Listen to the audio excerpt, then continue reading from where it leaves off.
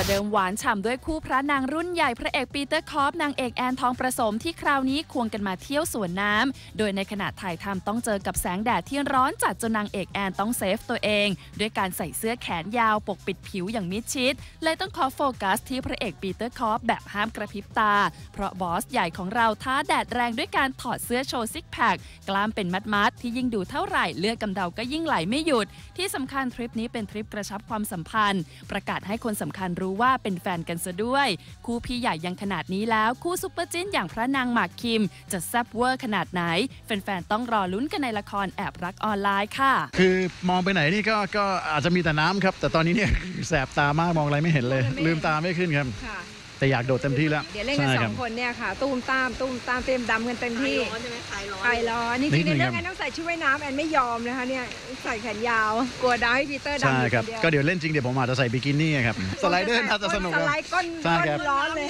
เดี๋ยวผมจะใส่ G-string กลับหลังให้ดูเออครั้งแรกนะถ้าพูดตรงๆนอกจากสวนสยามแล้วก็ที่เนี่ยแหละครั้งไม่แรต้อกงกลัวเดี๋ยวผมดูแลคุณเอง